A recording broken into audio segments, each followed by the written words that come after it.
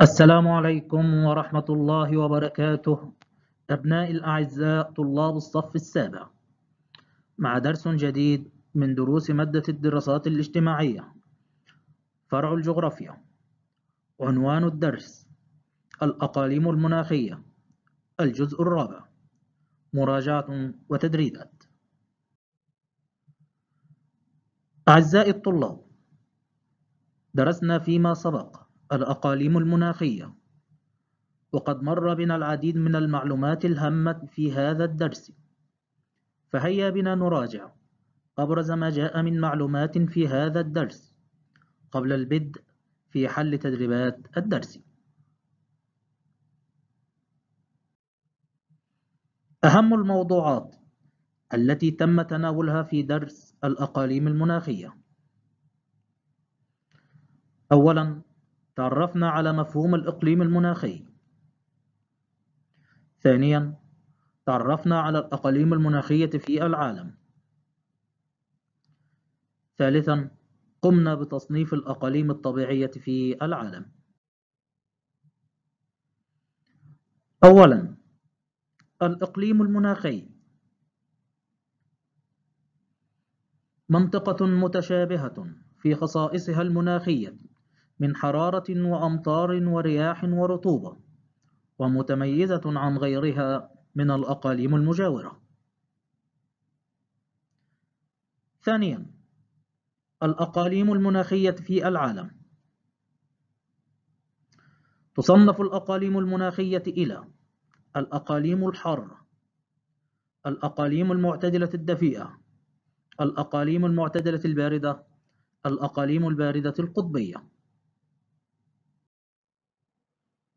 ثالثا الأقاليم الطبيعية في العالم. الإقليم الرئيس الأقاليم الحارة. وتقسم الأقاليم الحارة إلى أقاليم فرعية هي الإقليم الاستوائي الإقليم المداري الإقليم الصحراوي. سنتناول الآن الموقع الفلكي. الإقليم الاستوائي يمتد بين دائرتي عرض. صفر وثمان درجات شمال وجنوب خط الاستواء. بينما الإقليم المداري يمتد بين دائرتي عرض. ثمان وثمان عشر درجة شمال وجنوب خط الاستواء. والإقليم الصحراوي يمتد بين دائرتي عرض ثمان عشر وثلاثون درجة شمال وجنوب خط الاستواء. أما من حيث درجة الحرارة والأمطار فإن الإقليم الاستوائي يتميز بحرارة مرتفعة وأمطار غزيرة طوال العام. الإقليم المداري يتميز بصيف طويل حار غزير المطر شتاء قصير دافئ جاف. الإقليم الصحراوي يتميز بارتفاع درجة الحرارة صيفا وانخفاضها شتاء والأمطار نادرة. نتابع سويا الأقاليم الطبيعية في العالم. الأقاليم المعتدلة الدفيئة تقسم إلى أقاليم فرعية وهي الإقليم الصيني وإقليم البحر المتوسط. الموقع الفلكي يمتد الإقليم الصيني بين دائرتي عرض 30 درجة و40 درجة شمال وجنوب خط الاستواء. شرق القارات بينما إقليم البحر المتوسط فإنه يمتد بين دائرتي عرض 30 درجة و40 درجة شمال وجنوب خط الاستواء غرب القارات. أما من حيث درجة الحرارة والأمطار فالإقليم الصيني صيف حار شتاء دافئ أمطار طوال العام. بينما إقليم البحر المتوسط صيف حار وجاف شتاء دافئ وممطر.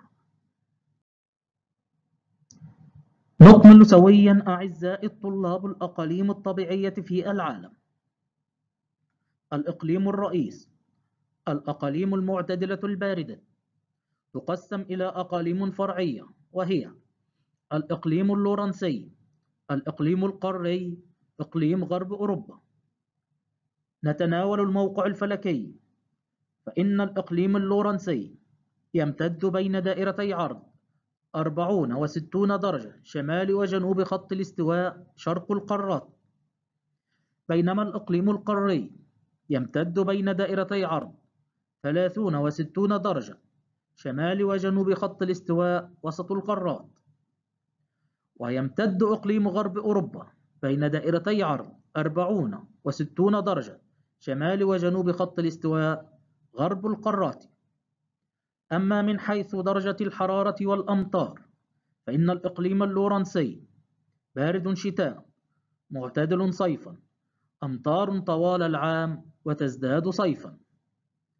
أما الإقليم القاري فشتاء طويل شديد البرودة صيف قصير دافئ أمطار قليلة وتزداد في الصيف. بينما إقليم غرب أوروبا بارد شتاء معتدل صيفا أمطار طوال العام تزداد في الشتاء. الأقاليم القطبية الباردة. من حيث الموقع الفلكي يمتد بين دائرتي عرض ستون وتسعون درجة شمال وجنوب خط الاستواء. أما من حيث درجة الحرارة والأمطار شتاء طويل شديد البرودة وصيف قصير دافئ وتساقط على شكل ثلوج. والآن أعزائي الطلاب هيا نجيب على أسئلة تدريبات الكتاب المدرسي. صفحة 37 وثمان وثلاثون وتسع وثلاثون. السؤال الأول أعزائي الطلاب اختر الإجابة الصحيحة من بين البدائل التالية. واحد. أي الأقاليم التالية؟ يتميز بصيف حار وجاف وشتاء دافئ وممطر. البحر المتوسط الصيني القطبي اللورنسي انتظر منكم الإجابة. أحسنتم. الإجابة الصحيحة هي إقليم البحر المتوسط. رائعون. اثنان. إقليم مناخي. يمتد بين دائرتي عرض. صفر. وثمان درجات. شمالا وجنوبا. الصيني الاستوائي المداري الصحراوي. رائعون. إجابة رائعة. الإجابة الصحيحة هي الاستوائي. ثلاث. من أوجه التشابه بين الإقليم الصيني. وإقليم البحر المتوسط أن كليهما يمتد في شرق القارات ترتفع فيه الحرارة طوال العام تسقط فيه الأمطار طوال العام يقع بين دائرتي عرض 30 درجة و40 درجة. من توصل إلى الإجابة؟ أحسنتم. الإجابة الصحيحة هي يقع بين دائرتي عرض 30 و40 درجة شمال وجنوب خط الاستواء. أربعة. توجد دولة قطر ضمن إقليم المناخ. المداري الصحراوي اللورنسي الصيني. رائعون. إجابة صحيحة. الإقليم الصحراوي. خمس. إقليم مناخي يتميز بارتفاع درجة الحرارة صيفا وانخفاضها شتاء ونضرة الأمطار القاري الصحراوي المداري الصيني. من توصل إلى الإجابة أعزائي الطلاب؟ أحسنتم. الإجابة الصحيحة هو الإقليم الصحراوي. السؤال الثاني. قارن بين الإقليم الصحراوي وإقليم البحر المتوسط من حيث الموقع الفلكي والحرارة والأمطار. هيا بنا نجيب سويا. من يذكر الموقع الفلكي للإقليم الصحراوي؟ رائعون! يمتد بين دائرتي عرض 18 و30 درجة شمال وجنوب خط الاستواء. بينما إقليم البحر المتوسط أحسنتم! يمتد بين دائرتي عرض 30 و40 درجة شمال وجنوب خط الاستواء في غرب القارات. من سيذكر الحرارة والأمطار؟ رائعون الإقليم الصحراوي. يتميز ارتفاع درجة الحرارة صيفا وانخفاضها شتاء والأمطار نادرة. بينما إقليم البحر المتوسط صيف حار وجاف شتاء دافئ ممطر. السؤال الثالث عرف مفهوم الإقليم المناخي. أنتظر منكم الإجابة أعزائي الطلاب. هناك من يذكر الآن الإجابة. أحسنتم رائعون. منطقة متشابهة في خصائصها المناخية. من حرارة وأمطار ورياح ورطوبة ومتميزة عن غيرها من الأقاليم المجاورة. أعزائي الطلاب والآن مع السؤال الرابع. ما الخصائص المشتركة بين كل من؟ واحد الإقليم الاستوائي والمداري. أنتظر منكم الإجابة. رائعون هناك من توصل إلى الإجابة سريعا. الحرارة المرتفعة وغزارة الأمطار. أحسنتم. ما الخصائص المشتركة بين كل من؟ الإقليم اللورنسي وغرب القارات. يقعان بين دائرتي عرض أربعون درجة وستون درجة شمال وجنوب خط الاستواء. كلاهما بارد شتاء ومعتدل صيفا وأمطار طوال العام. أحسنتم. ما الخصائص المشتركة بين كل من؟ الإقليم القاري والقطبي. إني أنصت إليكم رائعون أعزائي الطلاب. الشتاء طويل شديد البرودة وصيف قصير دافئ.